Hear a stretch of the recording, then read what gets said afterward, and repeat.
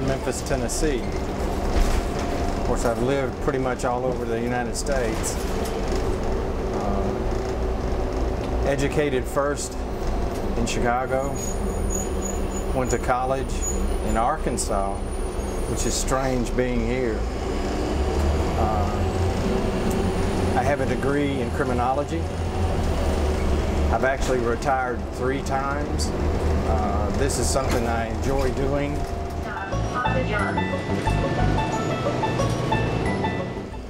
It's a very important job. All your students have to get to class on time safely, which is very important to every driver at Oxford University Transit.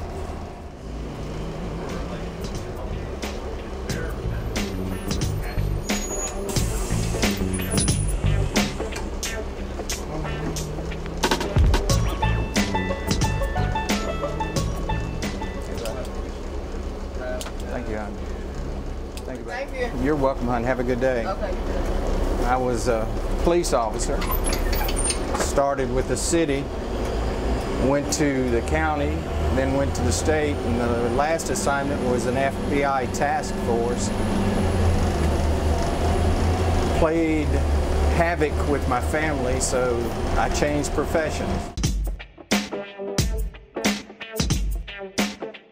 I left police work. Uh, wasn't necessarily the money. Like I said, it was it was the family situation.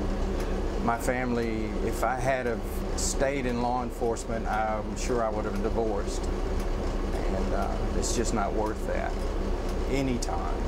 So, you know, police work is very difficult. It was a very satisfying job. Uh, I did enjoy it very much. But like I said, my family means more to me than anything. So I left it and uh, went into marketing and started making some money.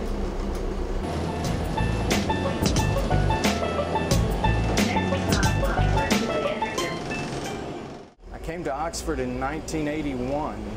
Uh, I was a district manager with a company, went to Tupelo, put in a plant, and after I finished the plant, they wanted me to move to Omaha, Nebraska to put in another plant, and I quit.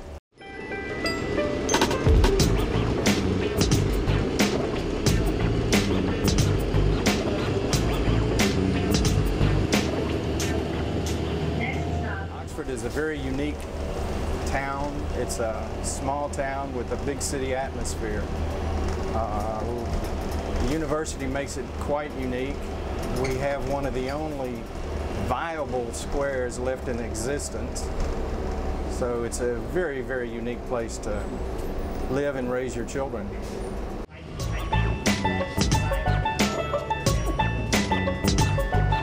My wife likes to ride with me and go to the car shows. I raised all of my kids around the car shows and motorcycles. So it's just been an exciting life from start to now. And I hope it continues to be exciting.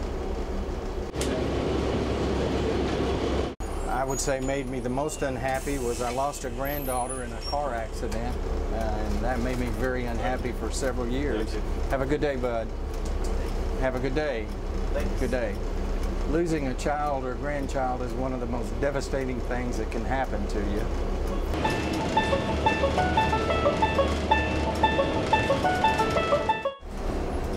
And most people don't respect a bus. they try to get in front of it, uh, go around it, which is very dangerous for my.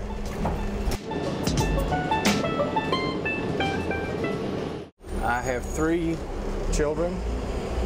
I have seven grandchildren and two great grandchildren. Always treat everyone with the respect that you want yourself. If you do so, life will be fulfilled and full of joy.